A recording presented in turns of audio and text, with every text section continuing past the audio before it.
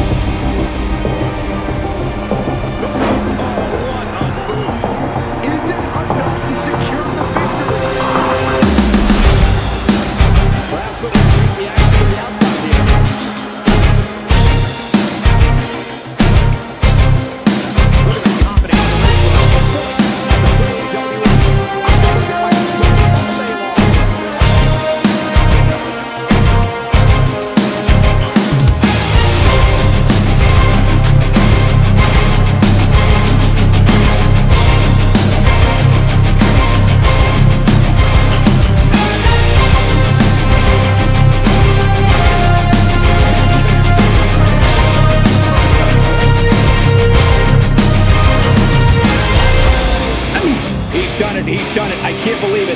He's done it.